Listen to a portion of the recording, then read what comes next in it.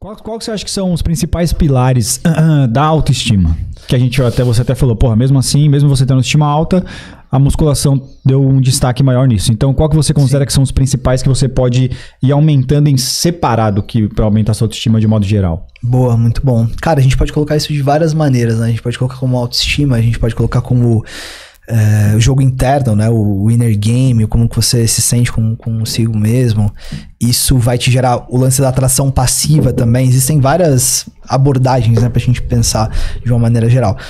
Cara, eu penso que alguns pilares, assim, essenciais e básicos. Autoconfiança, que é diferente de confiança advinda de resultado. É diferente de você ser bom em alguma coisa e isso te gerar uma satisfação. A autoconfiança, ela é o, a sensação interna de que tá tudo bem ser quem você é.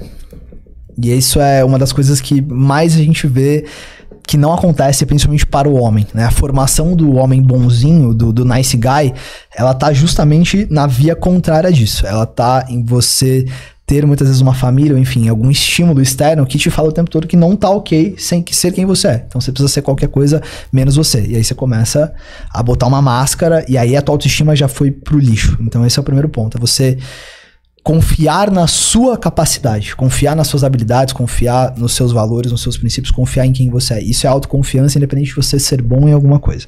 Então acho que esse é o primeiro pilar básico.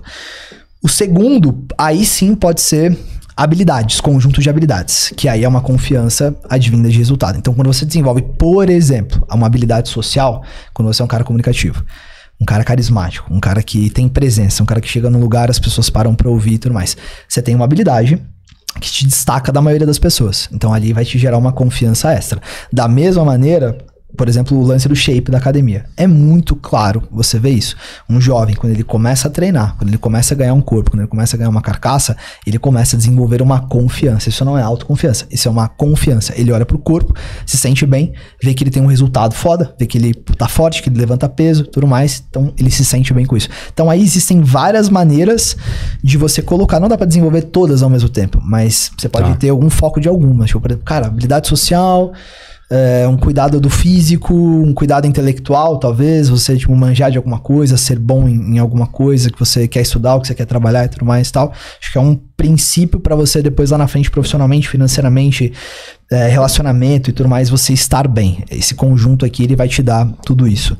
E a terceira, acho que é estilo de vida, cara. Aí é quando estilo você... De vida? É, lifestyle. É quando você junta essas duas primeiras coisas e os resultados vão acontecendo e tu vai formando um estilo de vida. Então, quando você, por exemplo é um cara autoconfiante você frequenta determinados lugares e você é bom dentro de alguma maneira dentro daquele lugar. Você tem uma percepção de valor, as pessoas naquele lugar, aquele ambiente que você frequenta te respeitam, te admiram, te acham um cara atraente. Você vai formando um estilo de vida. Pô, eu gosto de, sei lá, poker, por exemplo. Então o cara joga poker com uma frequência, aí ele faz um networking com uma galera lá, ele cria um círculo social, aí ele começa a se destacar dentro daquele círculo social. Então tem um estilo de vida que é jogar poker uma vez a cada, sei lá, sete dias, por exemplo, entendeu?